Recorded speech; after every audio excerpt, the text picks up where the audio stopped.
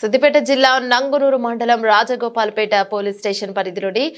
బద్దిపడగ గ్రామ శివారులో కొంతమంది వ్యక్తులు కలిసి పేకట రాయిలను పట్టుకున్నారు టాస్క్ ఫోర్స్ పోలీసులు ముగ్గురు వ్యక్తులు పారిపోయినట్లు పోలీసులు వెల్లడించారు కాగా మిగిలిన వారిని అదుపులోకి తీసుకుని వారి వద్ద నుంచి ఇరవై రూపాయలు ఇక ఆరు బైకులు నాలుగు మొబైల్స్ ను స్వాధీనం చేసుకున్నట్టు రాజగోపాల్పేట ఎస్ఐ ఎండి ఆసిఫ్ తెలిపారు ఈ సందర్భంగా